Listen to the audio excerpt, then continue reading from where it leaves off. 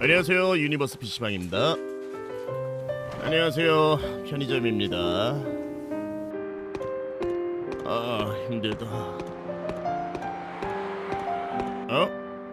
아, 아저씨 깨어있네. 아씨, 정부에서 나 트롤이네. 또 시작이군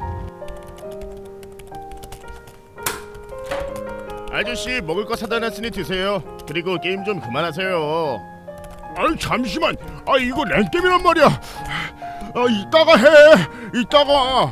에휴 아빠 수능 치고 왔는데 잘 봤어 대박 난 것 같아 아 오늘 수능이라 랭겜에 실버들이 많이 없었군. 아이 케이드.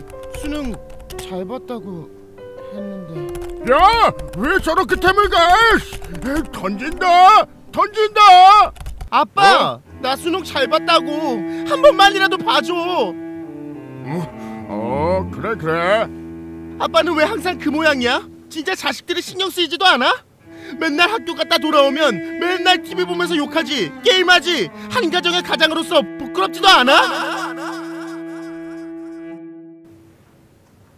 그, 그치만 그치만 내가 이렇게라도 하지 않으면 너희들이 나를 안 봐주는 걸.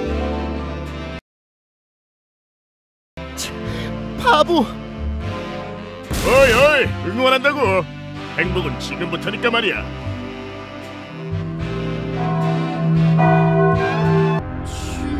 뭐야?